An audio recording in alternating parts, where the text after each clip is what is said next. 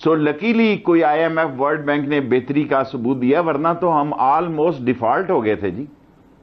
Almost Imran साहब, हमारा काम फाइनेंशियल खत्म हो गया था और ग्रोथ तो मनफी होनी होनी थी, लेकिन किस्त के लिए तो छुट्टी हो गई थी।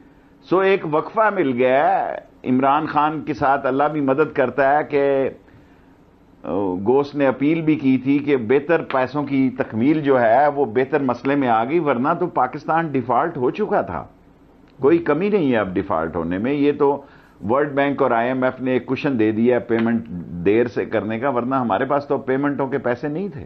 ठीक है।